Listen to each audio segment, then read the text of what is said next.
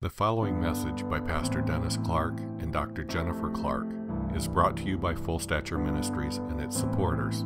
For more information about Full Stature Ministries, please visit forgive123.com. That's forgive123.com.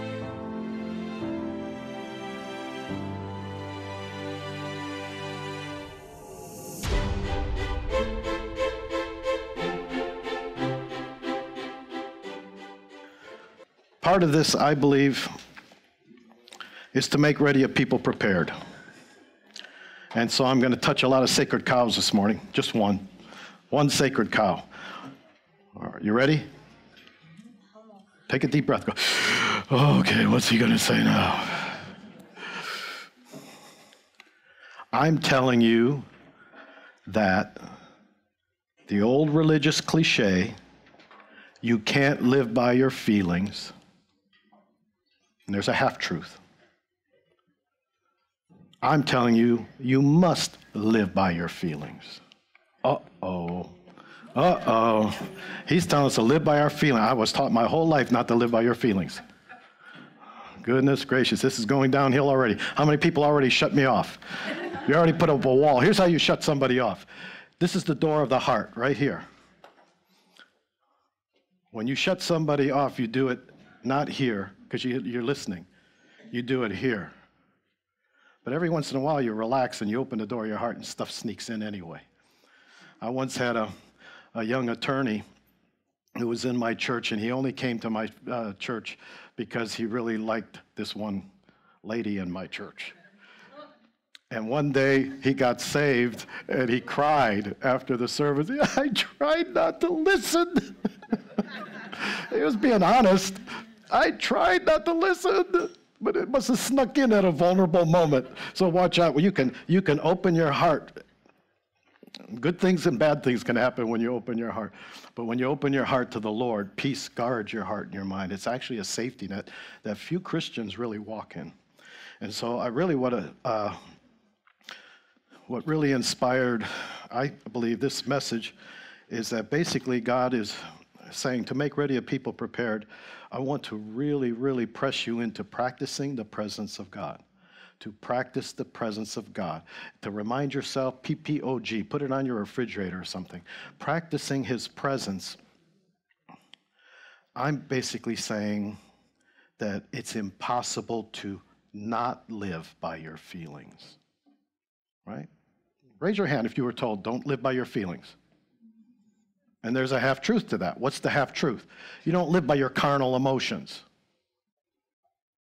But on the other hand, Jesus said, Most assuredly, I say to you, the Son can do nothing by himself but what he sees the Father do. And for whatever he does, the Son does also in like manner. I've never spoken of my own authority or my own accord or as a self appointed, but the Father who sent me, he himself gives me orders concerning what to say and what to tell. So I don't do anything that I don't see my Father doing. I don't say anything I don't hear my Father saying. The part that's missing is that it's not all in seeing and hearing, it's all in the intimate relationship of practicing His presence. That's the underlining, the undergirding fact that if it's ignored, you're going to miss the whole truth. I just recently uh, heard a, a, a message by Benny Hinn that I says, well, he even simplified it. I have a tendency to make stuff complicated, but he simplified it. Said basically, you can't live, you can't, you can't basically even say in the name of Jesus in the flesh doesn't work. Whoa. In the flesh, apart from him, you can do nothing. And it it was interesting because basically there's things you can do in the flesh that sound religious. But if you're not in intimacy with God, you can move in the gifts of the Spirit and not be intimate with God. You hear that here once a month. Many will say to me in that day, Lord, Lord, did I not prophesy? Did I not cast out devils? And he's going to say, Depart from me, I knew you not. The lack of intimacy is the lack of the ability to touch. And I really want to challenge all you people that have been pretty much brainwashed, and more men than women, that you don't have feelings. I've got news for you. You cannot live without feelings. It's an absolute physiological impossibility. Usually, when people say I don't have feelings, they mean I don't have any good ones. All right? Especially you men. Come on. You got a one, one emotional vocabulary, frustrated. And that usually covers lust, hurt, anger, guilt, shame, frustrated, stressed. I'm stressed. You think stress is a badge of hard work and good work ethic. Stress means you're being controlled emotionally by people and circumstances. So you basically the question is do you live by carnal or spiritual emotion? And we don't hear that in the church at all. We don't hear emotion. We don't teach our children that in our school. Even our Christian schools, what do we teach them? How to think and how to act. But when they're emotionally upset, you basically just let them fend for themselves and tread water. That that day's got to change. We are a triune being, spirit, soul, and body, and everything in us is knit together, and it does not function apart from one another. What you do to the body, you do to the spirit, you do to the soul. What you do to the soul, you do to the body, you do to the spirit. We are intricately connected for kingdom purposes, and that's the shalom of God where everything's in harmony. And the peace of God rules. Therein lies Jesus' lordship when the peace of God rules in your life. I'm not talking about the feeling of relax. I'm talking about the supernatural peace of God, the fruit of the Spirit. Why don't we know more about the fruit of the Spirit? Because we've been brainwashed not to feel. So the fruit of the Spirit is something we put on, on Sunday school bulletin boards, but we don't know where how to get it. Jennifer and I looked at each other and said, This is what we've been teaching. I've been teaching this for 40 years, and yet we were in a major conference once where the, where the, uh, the bishop was standing on the pulpit and said, The day will come when people will be able to tap into the fruit of the Spirit as easy as they can tap into the gifts of the Spirit. Jennifer and I looked at each other, that's actually easy. Why is that so mysterious? Because we've been taught not to feel, and I'm saying you can't live without feelings. I'm saying that to practice the presence of God, and, and, and you can take everything you've ever heard, and I'm talking by experience, I'm not talking about theory. Our old religious cliche is it's impossible to, uh, or we're told not to live by our feelings, and I'm saying it's impossible not to live by your feelings. Even science proves that, right, Jennifer? When she studied uh, the, the physiology of it, the physiology of current biology, saved or unsaved, biology, says emocognition, emovolition. The emotions control your choices, the emotions control your thinking. And we've been taught in the church, oh, the mind is the battleground, the mind is the battleground. I got news for you. The devil wants your will and God wants your will. The battleground's the will. And the will is located here, not in your head. So, yeah, there can be a battle up here at the door of the head, there can be a battle at the emotional door, but ultimately, the enemy wants your will. And it's either the spirit of life in Christ Jesus or the law of sin and death. And that will is going to serve somebody. And if your emotions are not under the authority of the lordship of Jesus, neither are you. Except in theory. And you would be like those people say, Lord, Lord. But there's no oil in the lamp. Just because you move in the gifts does not mean you have oil in the lamp. The question are you living by carnal emotions or spiritual feelings? You can't live without love. What is that called, uh, Jennifer, with a baby? Uh, uh, failure to thrive? If you don't hold a baby, you don't touch a baby, you don't lift a baby, you just give them nourishment, they will die from the lack of touch, from the lack of care. The failure to thrive is, will be the, the, the reason they die. Phineas Gage, this is a, a fellow in 1848. This is now physiology. This is, this is just to give you an idea of the way God made us emotional beings. He made us thinking, feeling, choosing beings, all three.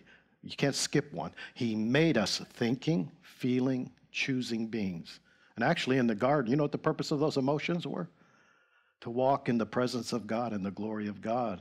and to feel the fruit of the Spirit as normative, to feel the love of God in its various manifestations.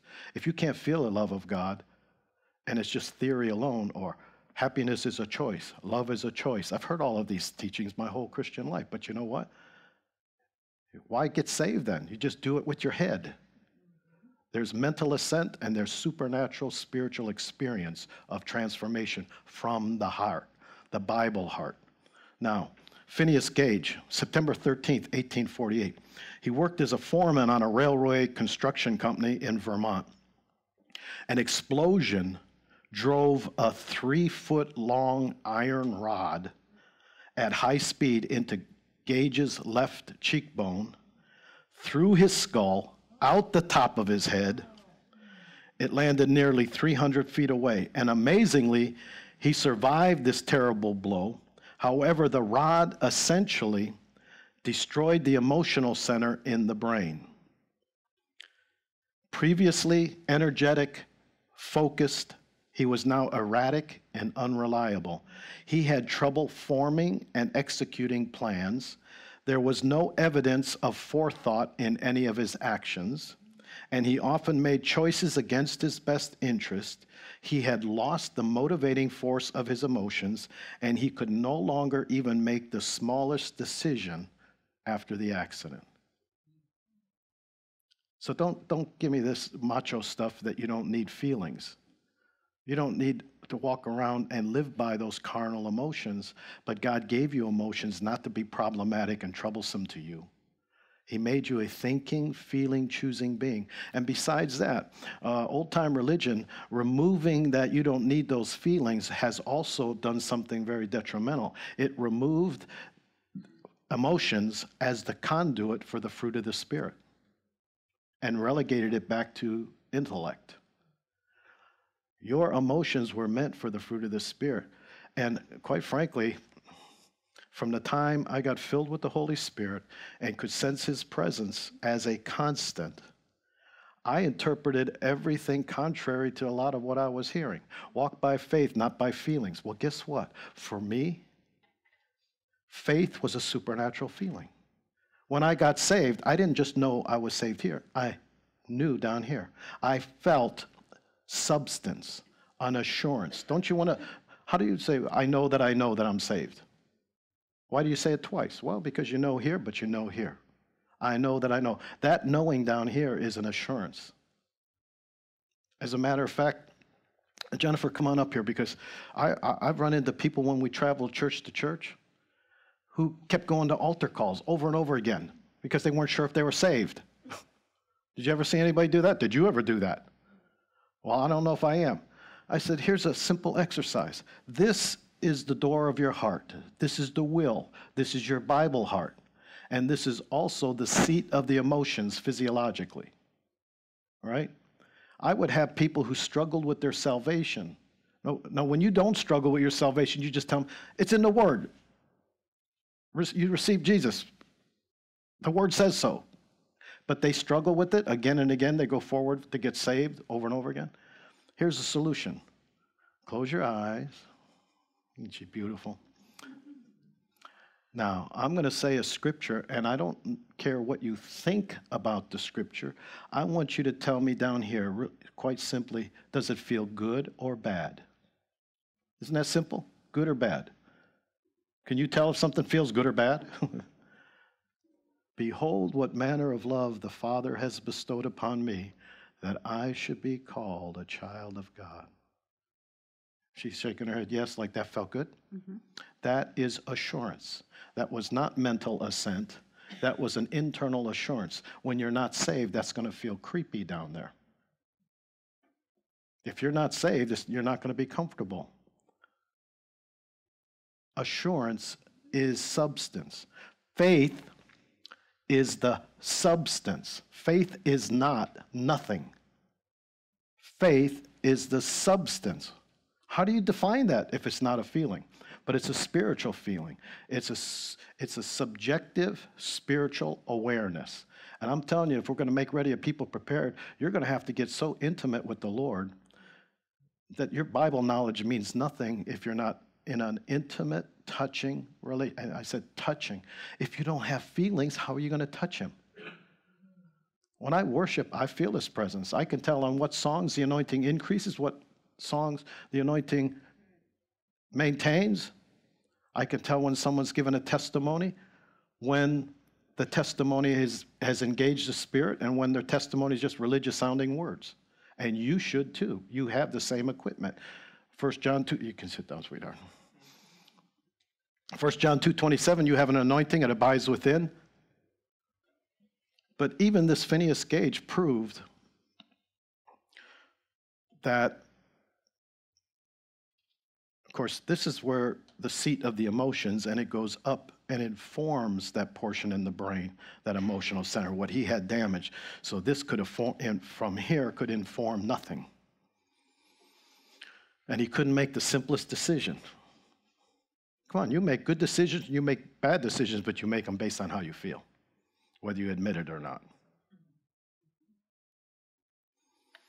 When we live by the Spirit, life is continually renewed. Faith, hope, and love are feelings. Wow, That's, I told you I'm going to touch sacred cows today. Faith, hope, and love, but they're supernatural feelings. Faith is something that you, it's hard to explain, but at the same time, it's the substance of things hoped for, the evidence of things not seen. I haven't, I don't walk by sight, by sight. The natural could look bad, but faith is that inner assurance. I can't explain it, I just know. But that's an impression. An impression is a feeling. How many know you're saved? Because you read it? No, because you had a supernatural transaction that impacted your mind, your will, and your emotions, all three. Or you didn't have a supernatural transaction. You can't repent without engaging the mind, the will, and the emotions. All three. Any Bible school across the board will say repentance must be mental, volitional, and emotional, or it's not true repentance. Real repentance is a supernatural endowment with the grace of God to do otherwise now. You receive the grace of God, the empowerment of God, which for me is a feeling. When it's easier to do right than to do wrong, for me, there's a feeling of inner strength, power, assurance. Huh? When it's easier not to sin than to sin, there is strength on the inside. That's an impression, that's a feeling. We just have to make a distinction between carnal emotions and supernatural emotions. God is love. The commandment is love. Do you know if you totally remove that and just followed their thinking through, you don't you can't live by feelings. So you don't need those feelings. They're just problematic. We don't know why we got them. We just they're just problematic.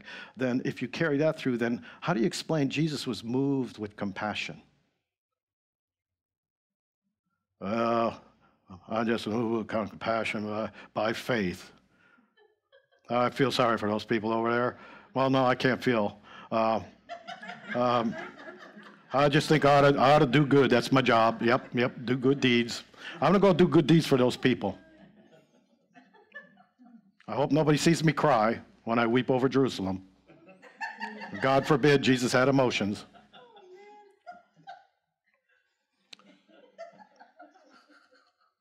For we walk by faith, not by sight, but faith is substance. There's an inner assurance. There is a know so, but the knower knows it, not just this. Actually, it communicates to both. How about trust in the Lord with all your heart? Let's, let's do a visual of that. Trust, this is where you trust. You yield your will to the Jesus in you. Trust in the Lord with all my heart, mind, will, and emotions my spirit, mind, will, and emotions, all that is within me, is yielded to Jesus. Trust Him with all my. Lean not on this. Why do they? Why even bother? Why say that unless that's the tendency of man to go from the heart back up to the head and figure it out? Lean not on your own but acknowledge. And the big eye opener for me as a young Christian was acknowledge has nothing to do with this. Acknowledge, by definition, in Proverbs 3, verses 4, 5, and 6, says, Acknowledge means to open to divine, intimate intimate, intimate connection. What kind of connection? Intimate connection. You don't do that here. Lean not on this, but acknowledge, touch through divine, intimate connection, and He will direct your path. You're to walk in the Spirit, not according to the flesh. And people that have uh, the people that will be have the most difficult time with this message are people who have intimacy, walls of intimacy and relational difficulties. They feel safer with just their theology and let's have a Bible study and let's just talk about the word, but I don't want to get too close to me. They sound like more like Simon and Garfunkel. Remember that? I am a rock. I touch no one and no one touches me. He was sick.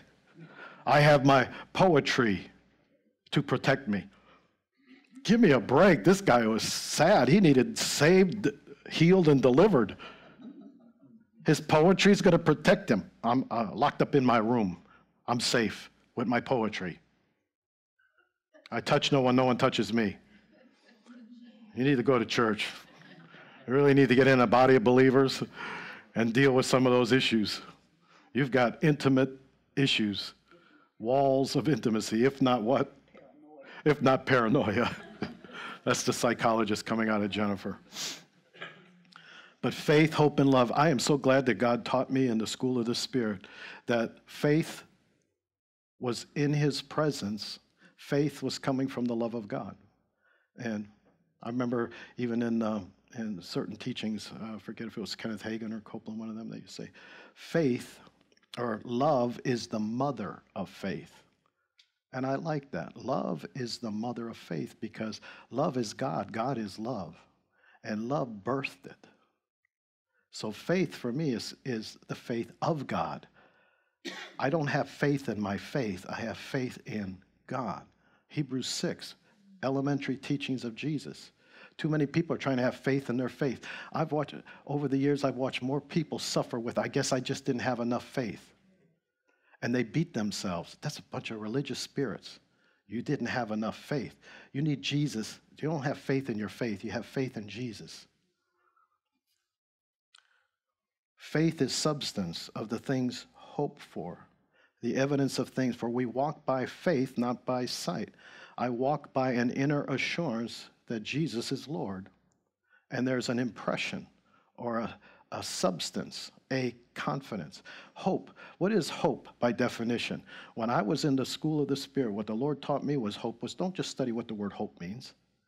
He said, Christ in you is the hope. And hope for Dennis was opening my heart to him. Hope and open are synonymous.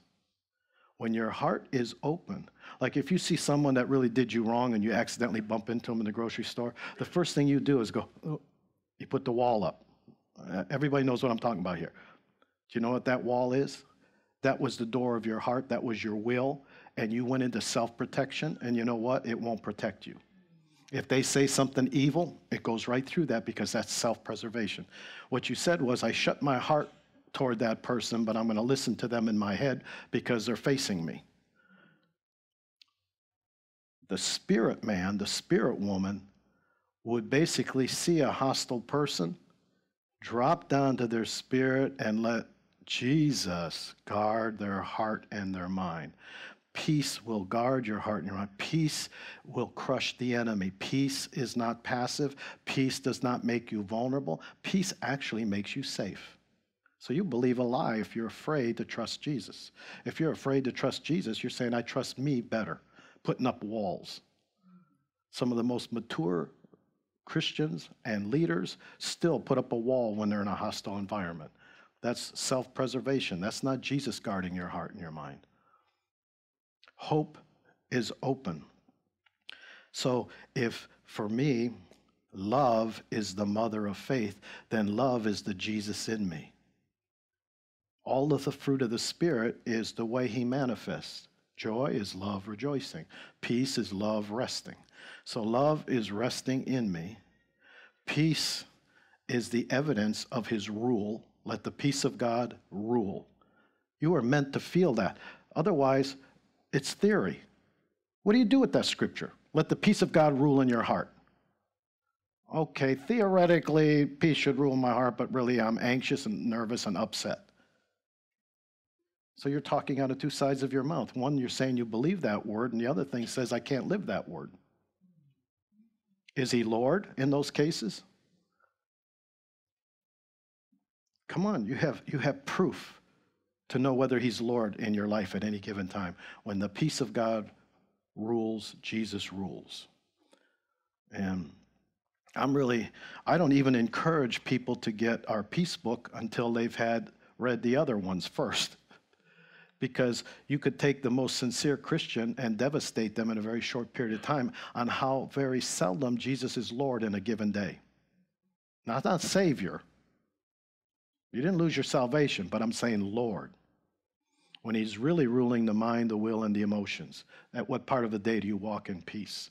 At what part do you give in to and make decisions out of anger, fear, lust, guilt, shame?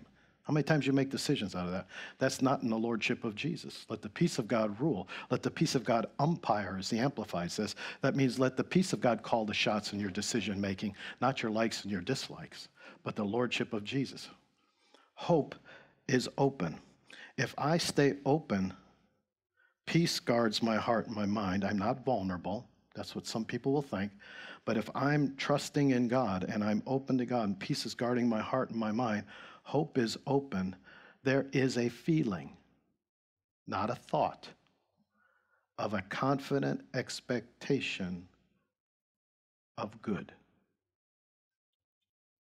Not a thought, but an inner confident when your hope is in God, not, not hope in an outcome. I've watched Christians crash and burn because they're hoping in a particular outcome that they fabricated. God didn't initiate it, they fabricated it, and then they get devastated when it doesn't happen because you're hoping in an outcome, not hoping in Him.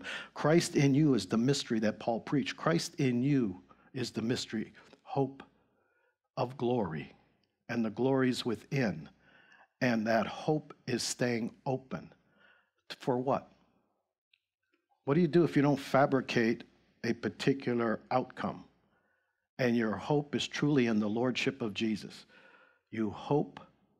Faith is the now substance that there is a confident expectation. I feel substance. Hope is I'm holding my heart open. I don't know how he's going to do it, when he's going to do it, but I'm not shutting down. I'm holding my heart open. Hope and open are synonymous.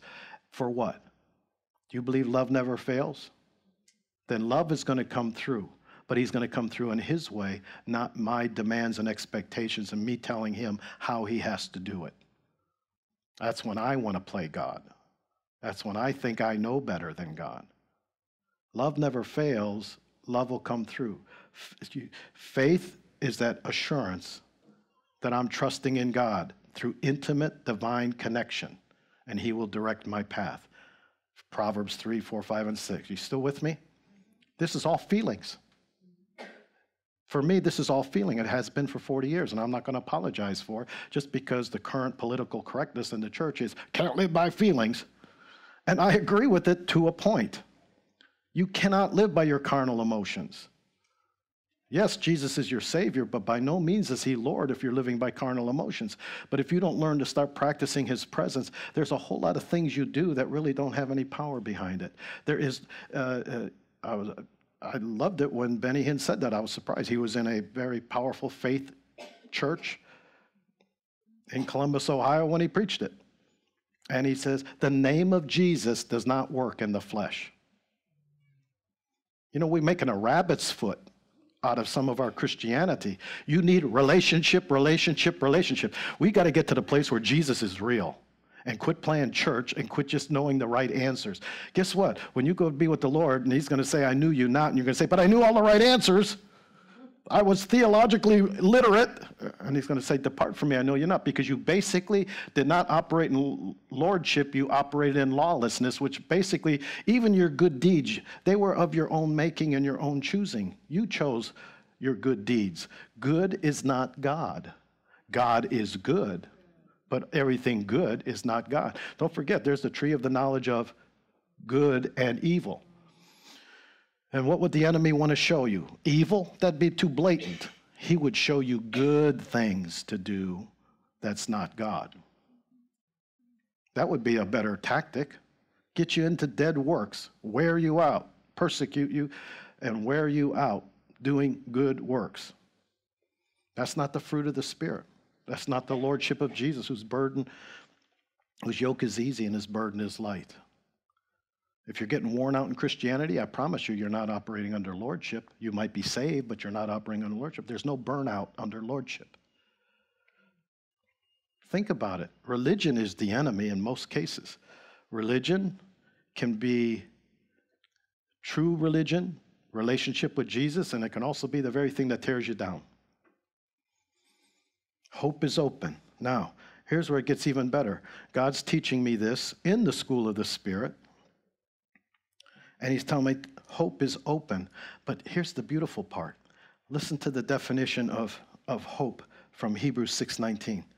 This hope that we have as an anchor of the soul, both sure and steadfast, and which enters the presence behind the veil. What is the, what's the veil referred to in Scripture most of the time? Flesh. I have this hope, openness to God, that is like an anchor to my soul. This is the thing that holds my heart open. It goes behind the veil. What's behind the veil in the, in the tabernacle? The presence of God, the Holy of Holies. Behind the veil. Our flesh is the veil, but I have this openness to God. I have this access to God. I'm open to Him, and there is an anchor. Now, I have a way to go in to the presence behind my flesh. This life I live in the flesh, I live by faith in the Son of God. So holding my heart open is keeping the veil open to the presence. If you want to practice the presence of God, you've got to learn to hold your heart open. If I'm in a hostile environment and somebody's yelling at me and calling me names or something, I drop down to Jesus and let peace guard my heart. And while they're yelling, on the external part of the peace, I can feel the nature that's coming against me. But like fiery darts, it doesn't penetrate. You feel it, but it hurts, but it doesn't harm you. You put up a wall and they say something evil, self preservation, it'll go right through that and you'll be bummed out. You'll go home and you'll be complaining about what that mean person said to you. How many, most believers are afraid to try peace guarding their heart and their mind, even though scripture says it? Because up here, it sounds vulnerable. Peace? Are you kidding me? They're, they're demonic. And you're telling me that peace? I'm telling you that the God of peace will crush Satan beneath your feet, but you got to try it. You've got to walk by faith. Hold your heart open to God, not to the person. When your heart is open to God, you can discern good or bad you can discern what is the nature coming from that person. If we don't get into intimacy with God and turn the hearts of the fathers to the children, children to the fathers, we're not going to be prepared for what God does when He pours out His Spirit. You're going to be spending all of your time trying to figure out what's going on up here. Good luck. Good luck. But they that know their God will be strong and do exploits. It'll be a time of increased anointing to accomplish the purposes of God for your generation, my generation. David was a man after my own heart who did all my will. My goodness, he, he screwed up a lot, but I'll tell you what, he knew how to repent and get right with God and have a wholehearted turnaround. Hope is an anchor. It anchors us to the presence within. So, if it anchors us to the presence within, how do I stay anchored? So I don't pull up my anchor. Stay open. I'm telling you, if you see people you don't like or people that disagree with you, if you stay open to God, you will have the necessary discernment to navigate. If you shut down, you will operate out of some kind of fear, anger, hurt, guilt, and you'll render evil for evil. You won't be redemptive. You won't do anything good except look out for number one, and it doesn't work. That's a lose lose scenario, isn't it? Hope does not disappoint. because the love of God's been poured out in our hearts by the Holy Spirit that was given us. Hope does not disappoint. Hope, open to God, I'm going to wait for love to come through and I'm going to quit being, being God or playing God and telling Him how to do it. How many of you tell God how to, how to do it? Huh? Get that daughter of mine and get her right. Get that son of mine. Uh, what that? What uh, uh, that husband of mine? That wife of mine? It, and then guess what happens? Nothing. And then what happens? You crash. Hope deferred makes the heart sick. If the heart's sick, your whole body's sick. And eventually you're speaking physical sickness even to your body. Hope deferred then means I was hoping in a particular outcome of my own origination. I'll tell you what, if God says it, it'll come to pass. But if you're just trying to twist God's arm to get what you want, hope deferred means hope I no longer open. I gave up. I told God if He didn't fix this, if He didn't fix my husband by Thursday, I was going to have a temper tantrum. So Thursday comes and he's meaner than a snake. Whoa. Wow. And then this is real intelligent. I mean, this is just plain intelligent. I'm mad at God. I, I, that one to this day, I, I just don't. I don't get it. I don't get it. You're mad at God. Well, how do we resolve that when and the only thing, the only resource I have is God, but I'm mad at God? Hmm. I guess I have to ask the devil for help. There's nothing left. Ask my unsaved friends for help. I ask, ask some Christian for help, but I'm not going to forgive and I'm not repenting.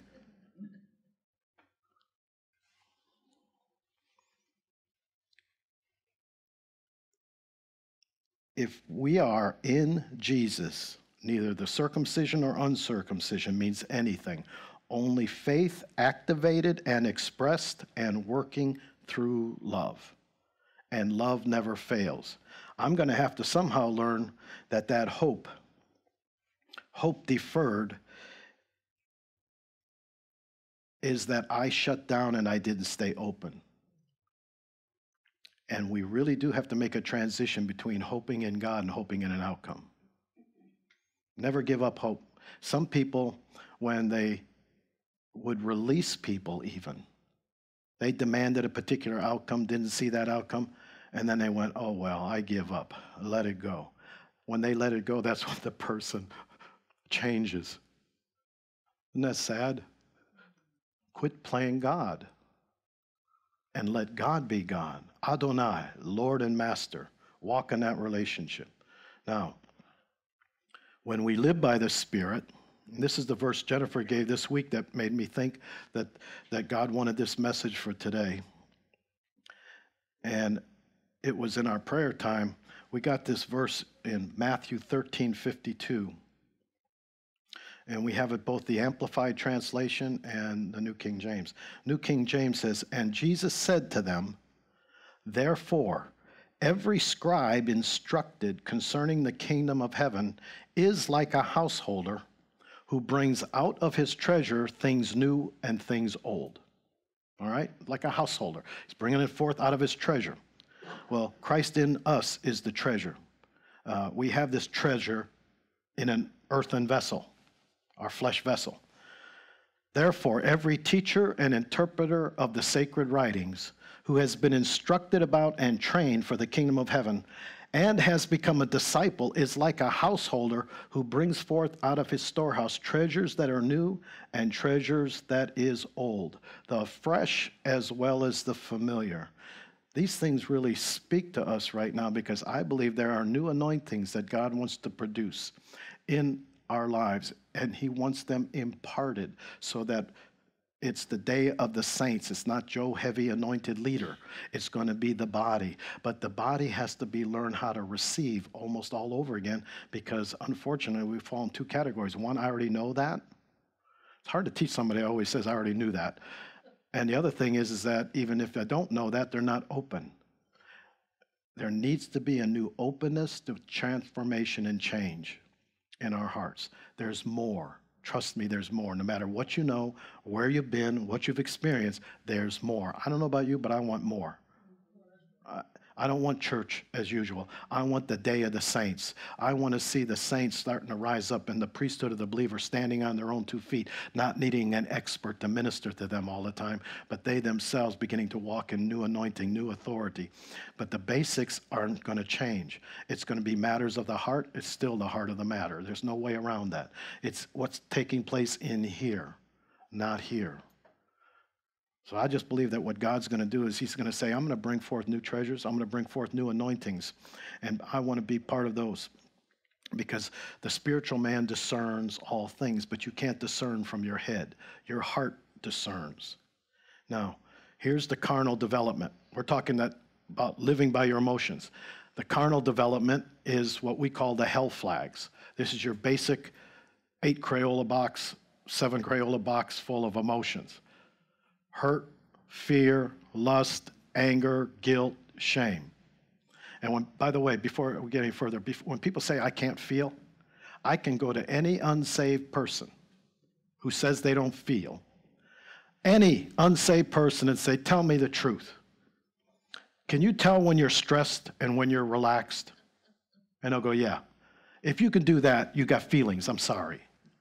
So I don't know where you get that brainwashed I don't have feelings. You know when you're stressed and you know when you're relaxed. If you're unsaved and you know that, how much more as a believer should you know how your emotions are being impacted by the Spirit of God? But carnal motivations, if you're moved by or live by, you say, Oh, Jesus, I love Jesus, but I walk in a low grade anxiety all day long.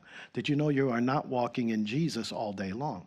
I'm sorry, you can't. You can't operate in two levels. Be anxious for nothing but by prayer. Prayer is practicing and being with Him in presence. Prayer is being with someone. Prayer is not just talking. I've seen people talk and pray while fear was flavoring their heart. There's no anointing on that. I don't care if you said all the right words. Perfect love casts out fear. Perfect love casts out fear. That's flesh. And people have been brainwashed into if I just say the right thing, everything will be okay. Or how about uh, Benny Hinn mentioned one lady where Lord gave him a word of knowledge and says, You got cancer. And she goes, No, I don't. And he said, Well, then God's lying to me or you're lying. And the agony was she was terrified of saying, I've got cancer. She was told, Never confess you got cancer. But there are people who have died confessing, I don't have cancer, I don't have cancer, I don't have cancer, I don't have cancer. If you're doing it in the flesh or you're doing it under a directive from God, there's a difference. And if you you can't play games, it's not a rabbit's foot. It's real life Christianity. And you need your own internal know so. That means your relationship with Jesus, not somebody holy anointed of God to pray for you all the time. You need your own relationship, your own intimate relationship, and your own know so, and not having to take somebody else's word for it and not using just a formula or a method. You better have your own know so. All of the right stuff in the flesh doesn't work. Jesus said, Apart from me, you can do nothing. It's that simple. When we live by the Spirit, life is continually renewed. But if you're going to operate in carnal development, if you're going to operate under hurt, fear, lust, anger, guilt, shame, you can say all the right stuff forever, but you're not, you're not going to see the results. Carnal motivation leads to carnal decision, carnal judgments, and carnal behavior. Your emotions control your choices or your behavior, your emotions control your thinking. So you will decide according to those toxic emotions, you will act according to toxic emotions, you'll behave, and you will judge your circumstances according to those toxic emotions. God made us an emotional being, but He wants spiritual development. God basically said that there was an impartation in our prayer time, uh, Jennifer and I, that, that there was going to be a compassion a, love that was both soft and strong at the same time. Doesn't that sound like Jesus to you? soft and strong at the same time. And he was moved with compassion and he healed their diseases. Love directed toward the suffering of other people and hearing and healing and miracles flow on the compassion of Jesus. So if compassion is just theoretical, then theoretically you're healed. or you can't say that you're sick. I, there wasn't one person that went up to Jesus and said that Jesus went to heal, where they said, I don't really have that. Can you find one place in Scripture where they said, No, you, don't have to heal me, I don't have that? That's how you can carry some of your things too far to where it's not benefiting you. Confession should be for confessing your faults and confessing. You have nothing to say until you first heard something. You hear it here, you confess it. When God took me to the school of the Spirit in prayer, He used Isaiah 50. He said, I'm going to awaken you morning by morning. I'm going to awaken your ear to hear. And quite frankly, Dennis, you don't have anything worth saying until you've heard something. The source, the source, the source. You don't have anything worth saying till you've heard something. You've got to live more by the Rhema word than the Logos. Know the Logos, but live by the living word. All right. Here's the, here's the area that we want to see developed. There's seven areas. I'm just going to make give you a list because we don't have time to cover this. But if we're going to engage in supernatural activity as believers, we're going to have to have the Holy Spirit in us teach us. You have an anointing, it abides within. Someone shouldn't teach you. There's a teacher on the inside of you that should be teaching you. He's the teacher, the counselor. He should be teaching you seven areas. One, you need a language to define what the Spirit of God is doing in you. You need a spirit language. There's no language for it. What do we usually say? I felt a quickening. I felt a wave. All right? That's because there's things that he does that you don't know. And when I mentored Jennifer and got her out of her head, it was basically, What do you feel, Jennifer? Because often what she felt would match the word. That way you have the nature and the word as one. The name of Jesus to have authority. In the name of Jesus, it has to have the nature of Jesus attached to it presence. Language is going to have to be developed. And if you even call that an emotional language, you're going to need it. Can't just live your whole life going frustrated or okay, stressed or relaxed. The second thing is you're going to have to know how to process. You're going to, by processing, meaning all spiritual truth must go from, because of the blood of Christ must go through death, burial, and resurrection for there to be a supernatural exchange. Processing means I went from bitterness, say, in my soul, in my heart. I felt the bitterness and I felt through forgiveness and repentance, I felt that it, Jesus take the bitterness, and on the other side, I've got peace. That's a supernatural, I would write that word down, otherwise, there's no way to really explain process. A supernatural transaction. A supernatural transaction. And by the way, this, oh well. The third element for spiritual development is entering into spiritual time. Spiritual time is when you have dual awareness. In other words, I know what's going on in the world around me, but I'm also aware of what the Spirit's doing at the same time. Dual awareness. It's not like I go into my prayer closet and I experience the presence, and then I come out and I get totally in my intellect and go to work. That's compartmentalization. I'm talking about that you have that special time of intimacy with God, but then you carry that presence into the activities of life. You keep the peace into the daily activity. We've got to learn dual awareness awareness of what's out there in the world, but awareness of what God's doing in my spirit. The fourth area, and our entire ministry is based on this, and this is what's basically going around the world. Not so much the revelation, but the revelation of application. How to. Spiritual application. It's one thing to have a rhema word, it's another thing to know what to do with it, isn't it? And that is, therein lies still the weakness at the body at large is even when God speaks something, will you seek the wisdom of application? Because times you have a red light, times you got a green light, and times you got a yellow light. sometimes you need to do something, sometimes you need to stop doing something, and other times you need to just wait.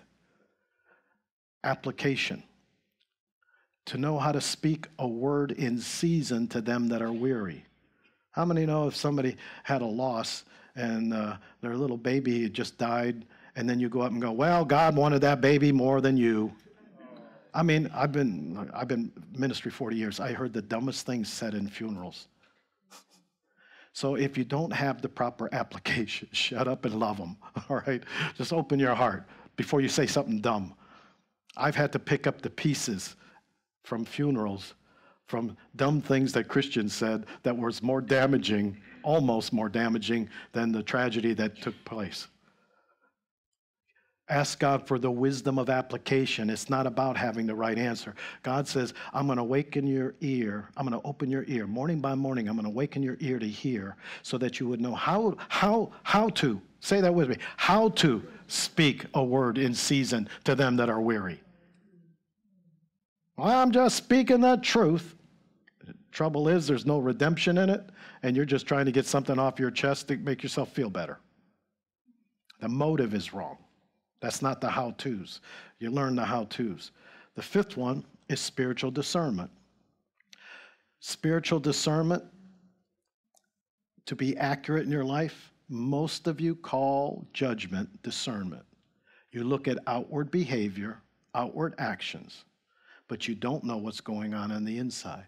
Real discernment sees the inside. Man looks at the outward appearance, God looks at the heart. When you truly discern, you know the motive or the source of why someone's doing something.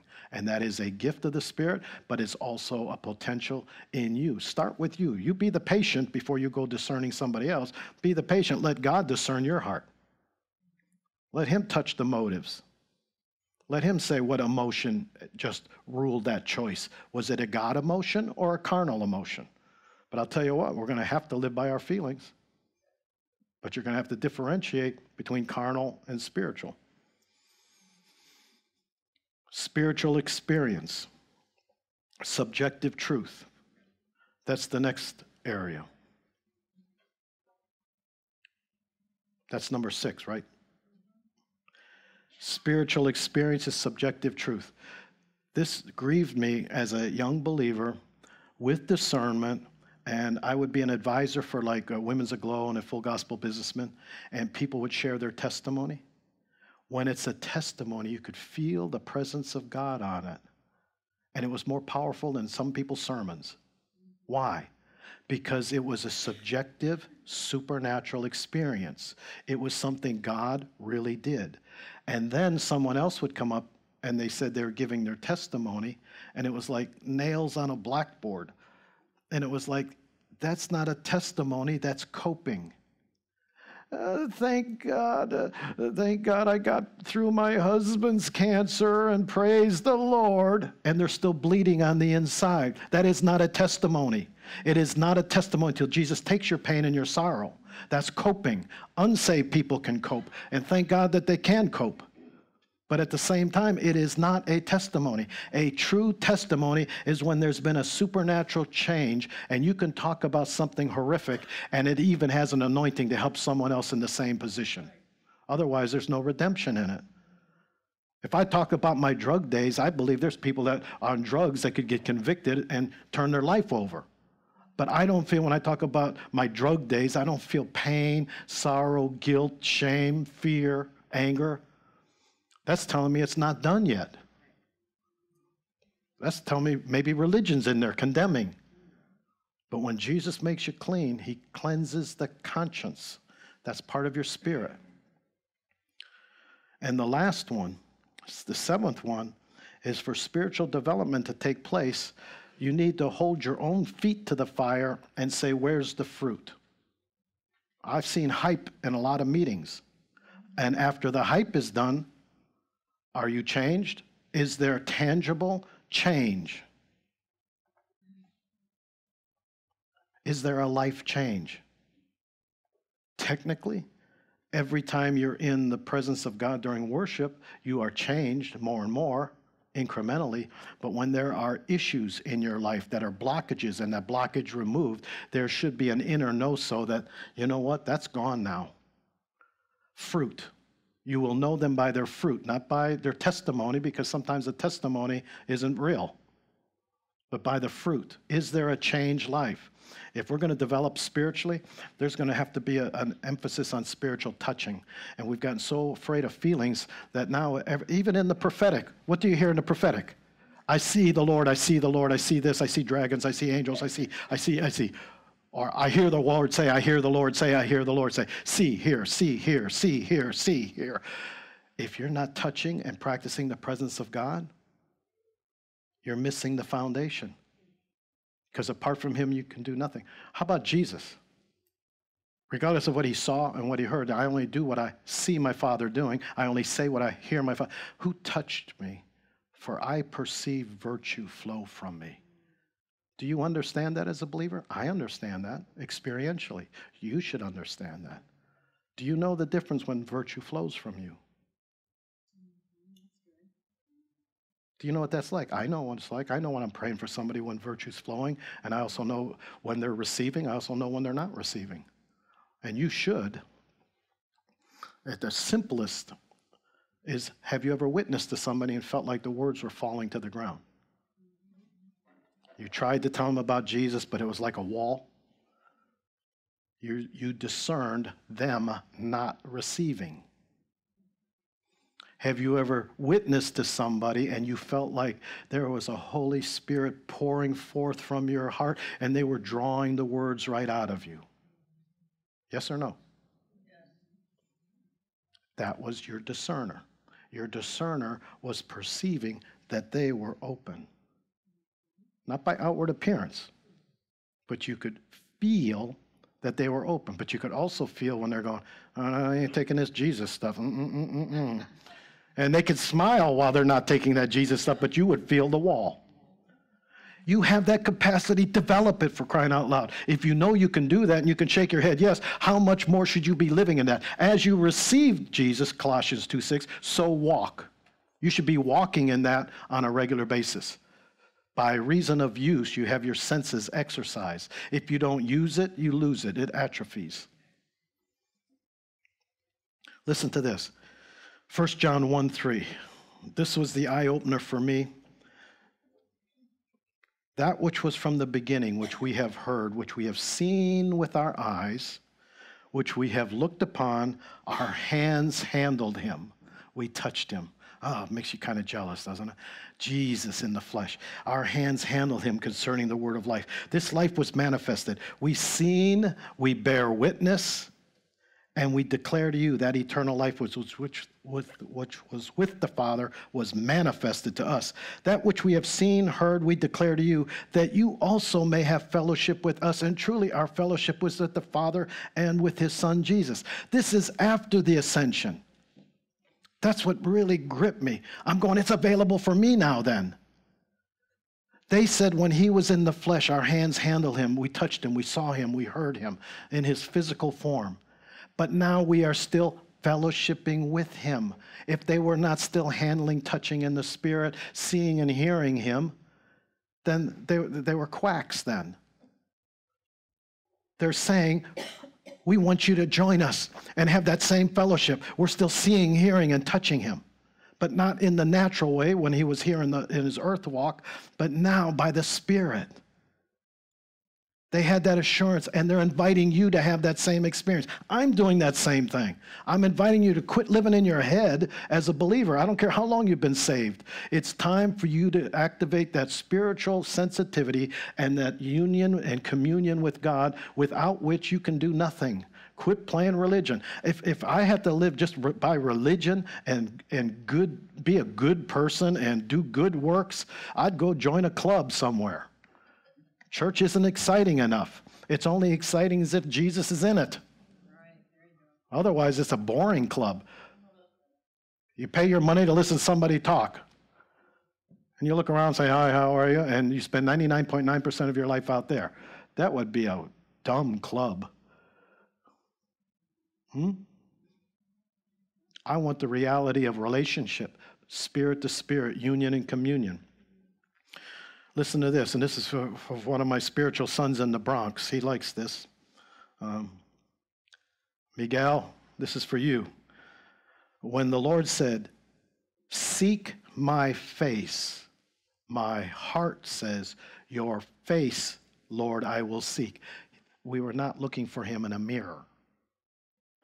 We were looking for him. God made from us to seek his face means to seek him by means of touching.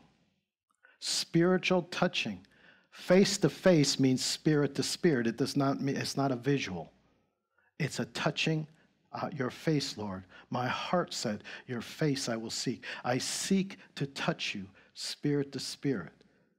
Face to face, spirit to spirit. Face to face, spirit to spirit. It has nothing to do with pictures. It's face to face, spirit to spirit. It's touching. God basically said, and the, uh, God has appointed the exact time and the exact place in which you should live in Acts 17. But it says, so that. God has an appointed exactly a time and a place for you to live. Where you work, where you live. God is establishing uh, a jurisdiction for each and every person. You need to be in the right place at the right time. But in that right place and that right time, here's the purpose. So that, so that means this is the purpose. I'm putting you in the right place at the right time so that they should seek the Lord in the hope that they might grope for him and find him. Grope in the Hebrew base and the Greek both imply groping as in the dark to touch. I'm going after him, to touch him, to find him, to feel after him so that you should seek the Lord in the hope that they might grope for him and find him, though he's not far from each and every one of us. Do you see how, how necessary hope is? Do you see why Paul called it the great mystery that's going to be revealed to the Gentiles? Was Christ in you, the hope of glory? But a hope of glory, it's, it's not difficult to get Jesus in. It's difficult for you to allow him to be filling you from head to toe. For Jennifer's castle illustration, even covered that. Jennifer, you want to share that castle thing? Because I'll, I'll mess it up. Okay, we, we had somebody who had a hard time understanding the concept that you can open your heart to Jesus and he comes in, but then you need to stay open to access and you can close off to him.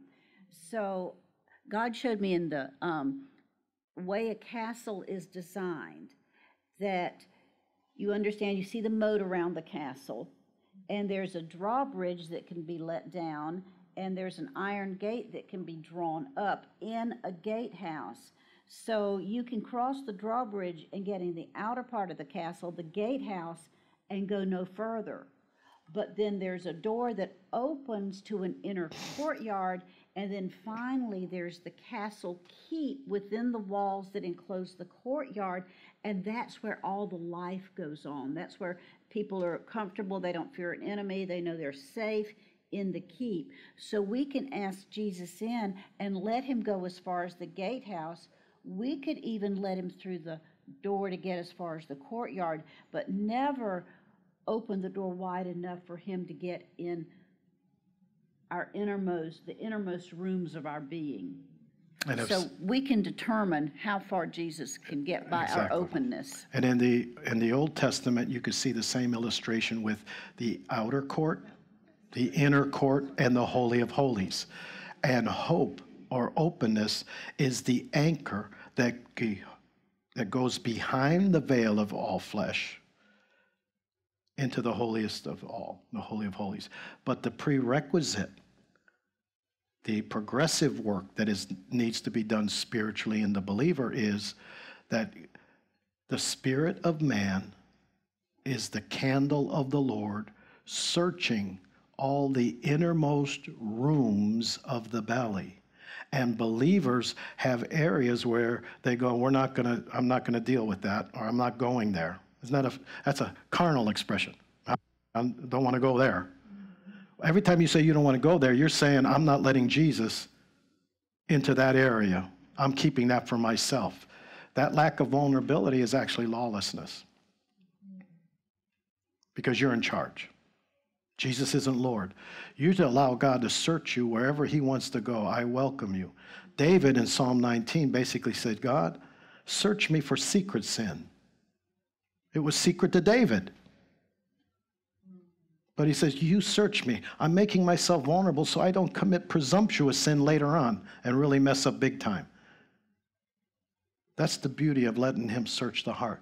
And God's basically saying, when you learn to hold your heart open in the day to day routines, you're allowing God to rule in a more significant way. Yes, He's your Savior, but this is the day and age when Jesus is going to require us to have our lanterns filled with oil.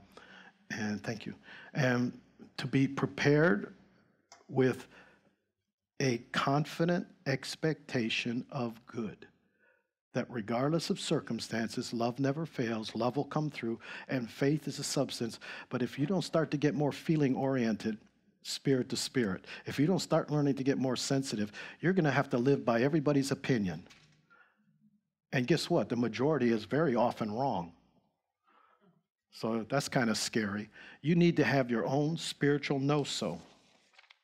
When you said, Seek my face, your face I will seek but this groping as to touching. I want to just pray for people today to touch. Could I have Abby?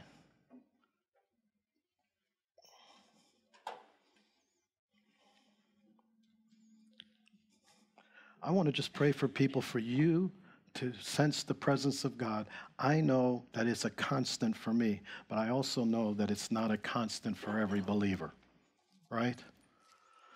How many know quality people, maybe friends of yours, maybe you, who lives in low grade anxiety and yet you love God? That low grade anxiety is inhibiting him from him blessing you the way he wants to bless you.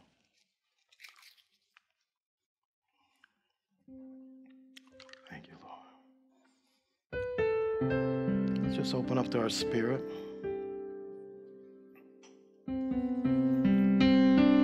Drop down to your spirit,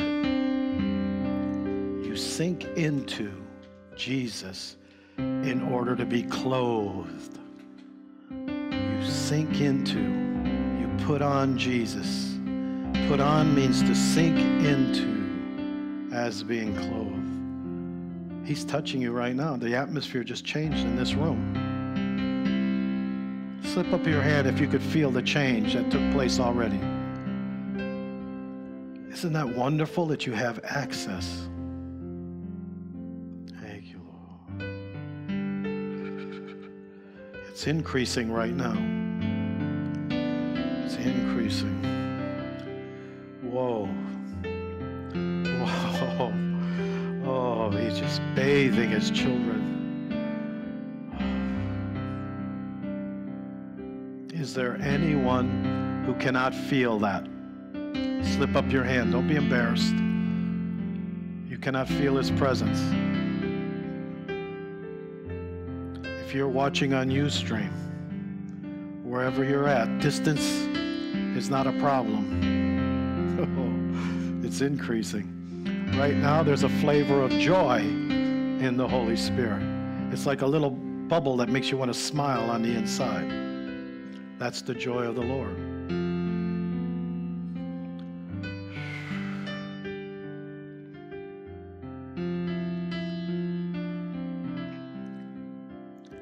There's people that are actually have tears in their eyes. I'm speaking Ustream as well as what's in his eyes.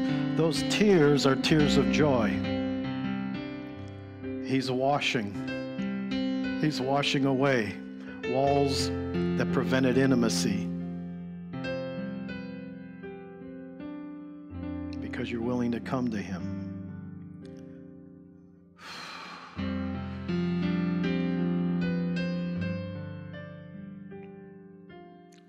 Pray for the religious people right now to turn to Jesus. You search the scriptures because in them you think you have eternal life. Yet they point to me, says Jesus, and yet you won't come to me. And I say, change your heart. Come to Him. Open up and say, God, I don't know. If I have religion that's blocking the way, I receive forgiveness for any religious mindsets that would block me from your presence.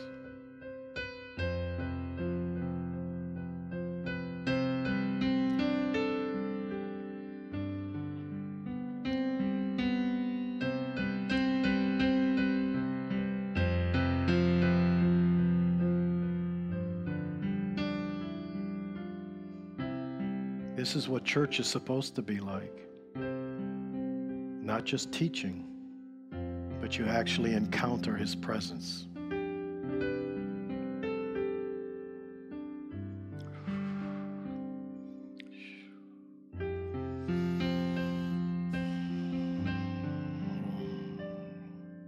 I just want to pray for those people watching by Ustream for a visitation of the anointing flood your heart right now, to flood that room, whether you're alone or you're with your family.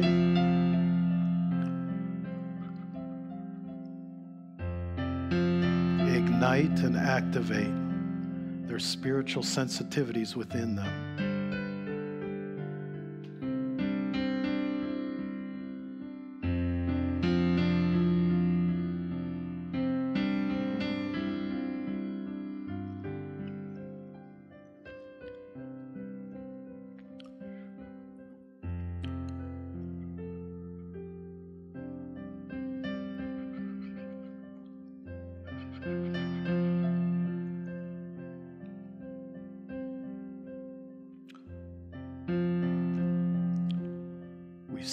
Touch your presence, spirit to spirit.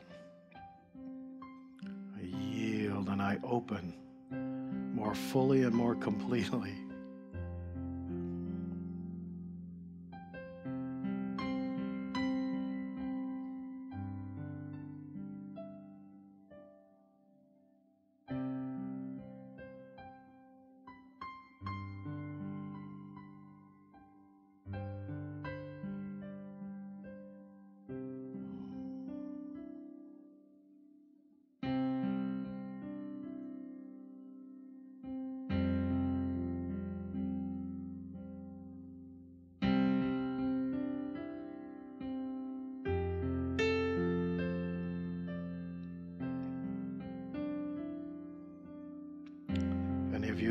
Sickness or disease in your body, welcome Jesus the healer on the inside.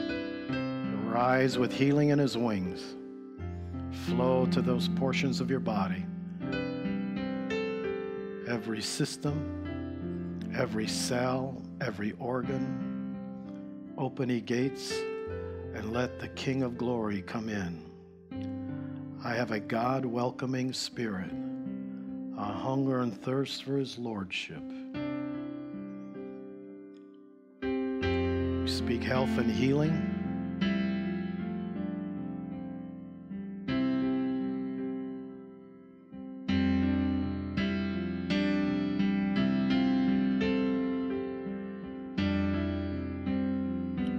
Speak to the Ustream people. There's no distance. Jesus the healer is rising up even now. He's encompassing you about. Many of you feel like a robe of his presence wrapping you. That's the love of God. That's the nature of Jesus. And in that nature, we proclaim him as Lord. Jesus is Lord of my life. My emotions belong to God. They're the conduit to experience Him, to touch Him in the spirit realm, spirit to spirit.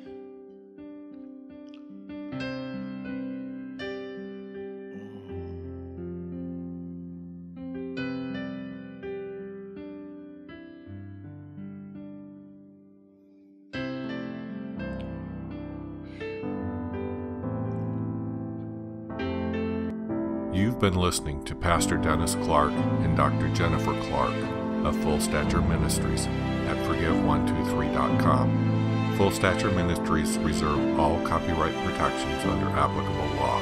Our copyright policy is available at our website, Forgive123.com. For more information about Full Stature Ministries and additional life transforming materials, please visit Forgive123.com.